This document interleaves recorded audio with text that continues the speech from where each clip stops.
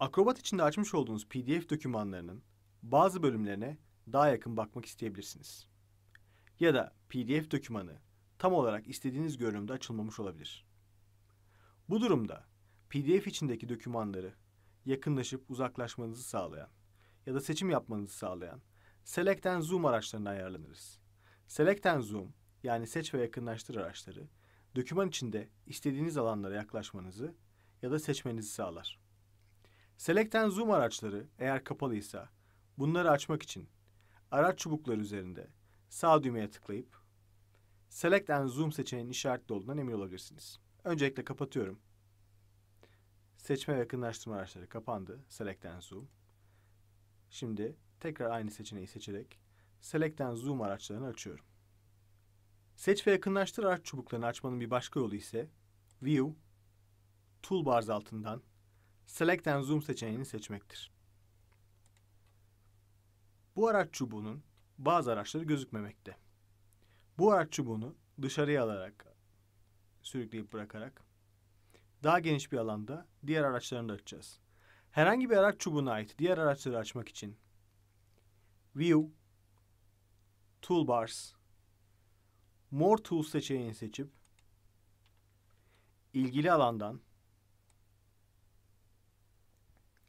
burada Select and Zoom aracımız olduğu için bunun altından ilgili bölümleri işaretleyebilir.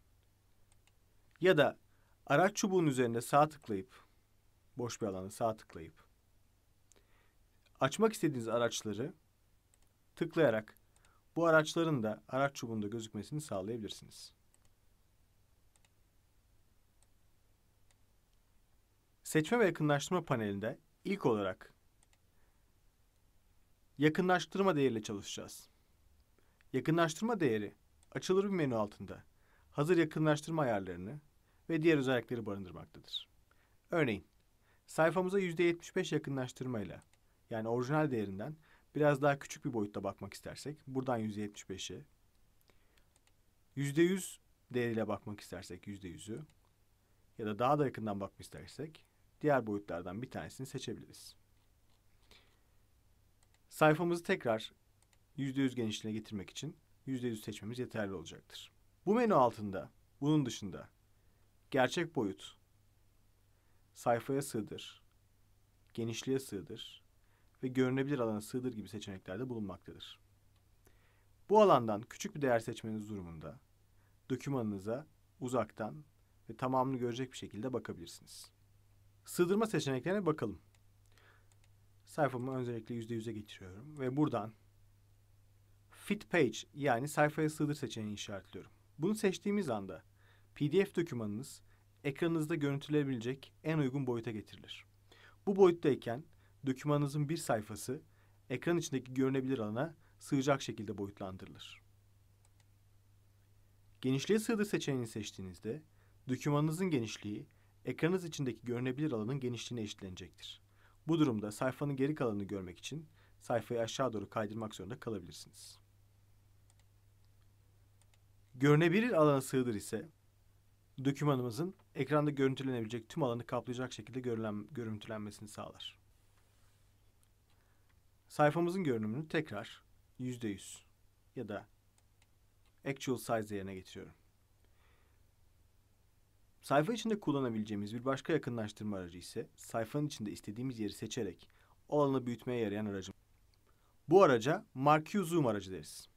Marquee Zoom aracını seçtikten sonra sayfanızın içerisinde yakınlaşarak bakmak istediğiniz yere farenizin sol tuşuyla basarak ve farenin sol tuşunu basılı tutarak bu alanı seçebilir ve bu alanın yakınlaşmasını sağlayabilirsiniz. Dokümanı tekrar actual size'a yani varsayılan boyutuna geri döndürmek için gerçek boyutuna actual size seçeneğini seçebiliriz. Doküman içerisinde kademeli olarak yakınlaşma ve uzaklaşma yapmak için artı butonuna basabilir. Ya da uzaklaşma için eksi butonuna basarak, zoom out butonuna basarak dokümandan uzaklaşabilirsiniz. Doküman içerisinde yakınlaşma ve uzaklaşma için kullanabileceğimiz diğer bir araç ise dinamik yakınlaştırma ya da uzaklaştırma aracı olan Dynamic Zoom aracıdır. Dynamic Zoom aracını etkin hale getirmek için eğer gözükmüyorsa araç çubuğunuzda, boşlukta herhangi bir yere sağ tıklayıp Dynamic Zoom seçeneğini seçebilirsiniz. Dynamic Zoom seçeneğini seçtikten sonra dokümanınız içerisinde herhangi bir noktaya tıklayıp farenizi yukarı doğru işaretledi, sürüklediğinizde evet yanlış aracım seçili. Dynamic Zoom aracını seçiyorum.